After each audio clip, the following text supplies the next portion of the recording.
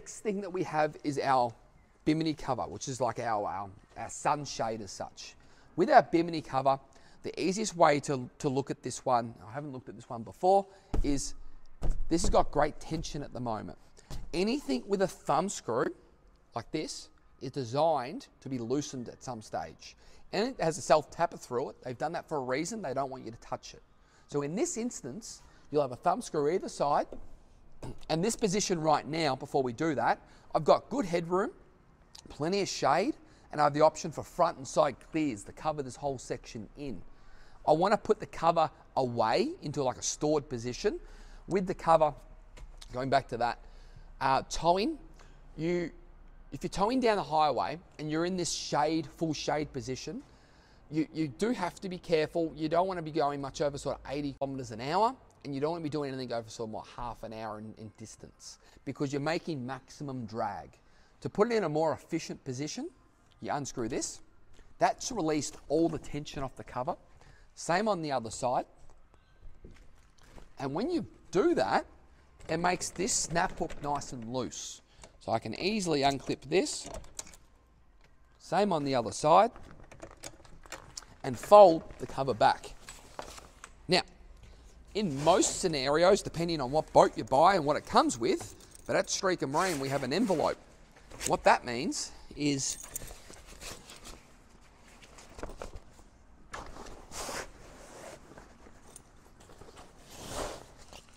put this cover over the cover. We make sure this snap hook is included inside the cover.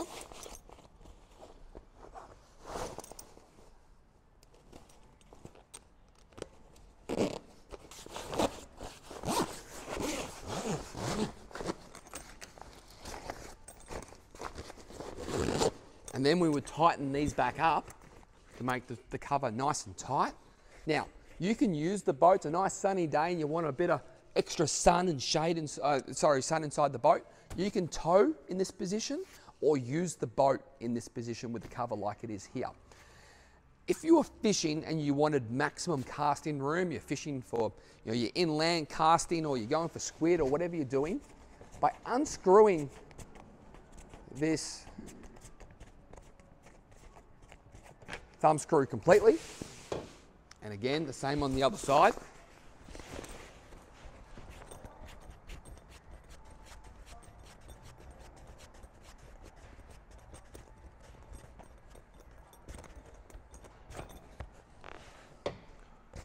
The cover can now hinge either way. Sometimes you can hinge it forward and give yourself maximum casting inside the boat. So if you don't want any restrictions and you got one person casting here and one person at the back, by moving the cover forward, it's going to prevent um, any sort of tangles and mucking around with the cover. When we're going to uh, put the full towing cover on the boat, which this boat actually has, we're going to go the other way and fold the cover all the way down here and then the big cover will go on top. Getting back to the actual motor for the moment, normal unleaded fuel, making sure the motor's in the water before you start it, safety lanyards in, motor's in neutral. When the motor is brand new and it hasn't been run, we want to run the motor in, bed the motor in. We basically, um, and your owner's manual will tell you what's what and what to go about it with your particular motor. So you do want to make sure that the information I'm telling you is relevant to what we're looking at here, but you do have to specify on what you're looking at and the owner's manuals for your particular products that you're, you're going with. Um, but generally, your 91 fuel, you um, start the motor, you let the motor warm up and get to an operating temperature. Once the motor's warmed up and it's ready to go, we'll get up on the plane get going. We'll keep the motor under 5,000 RPM and we'll vary the throttle to bed the motor in through the whole rev range. So we don't want to stick on the same speed just all day, set and forget at 3,500 RPM want to go through the rev range a little bit. Up on the plane and going, 3,500, take it up to 3,800, bang it up to 4,200, whatever it is. Keep it under 5,000 and vary the throttle around to get the maximum sort of um, rev range through that, through that area. And then once you're done at the end of the day, idle the motor back down, let it you know, cool back down a little bit, and then you can store it away.